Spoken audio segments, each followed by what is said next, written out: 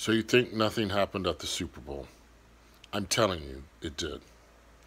I just was watching clips, little. I can't stand watching too much of it. The whole entertainment industry was there.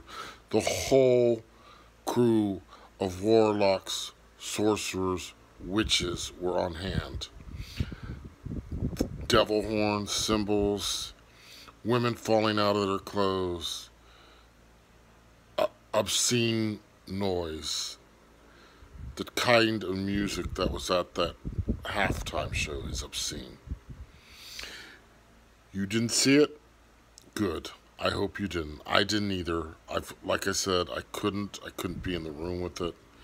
And I will tell you this though, as it began, at the moment, it was right in the room next to me. As it began the halftime show, I dozed off to sleep. I woke up coughing, a coughing fit like I never have had before. I thought I was going to choke to death. And then my eyes started burning. What? I wasn't looking at a, a screen or my phone. My eyes start burning right as the halftime show is beginning. It's not a coincidence. There was witchcraft going on. It was coming off the screen into my living room. I have no doubts about it. And I'm telling you right now, every last portal that needed to be opened up to evil was opened up last night. I'm experiencing it today. I know we are going to see it manifest very soon. Unless you're so spiritually blind and immersed in this world, you see nothing. You will see it and you will experience it. So I don't care if there wasn't explosions. I don't care if there wasn't a 9-11 event.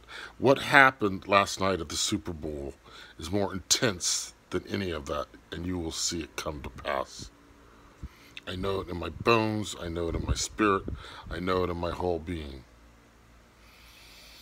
And I'm irritated right now because I don't think many people are even aware I'm experiencing it right now. I'm experiencing the increased level of evil all around me. The darkness manifesting, the evil spirits, the oppression, the horror, horror of it, of it all. As if the world wasn't as bad as it could be before this event. No, the witches all got together. All these mediocre, pathetic so-called talents dribble it's an abomination. The whole thing is.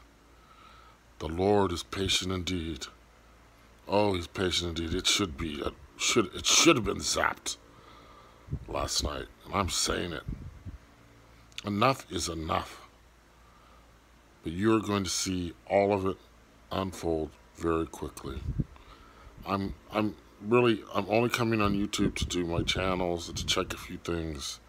I'm going off again because there's just no time day barreled by. It went by faster than yesterday. Hours are going by like 20 minutes. Wake up, folks. We're here. It's here. The evil is here. Oh, and that slogan from that GM commercial, evil is here for good. Well, we know better than that. But for the time being, yes, it is. Be aware.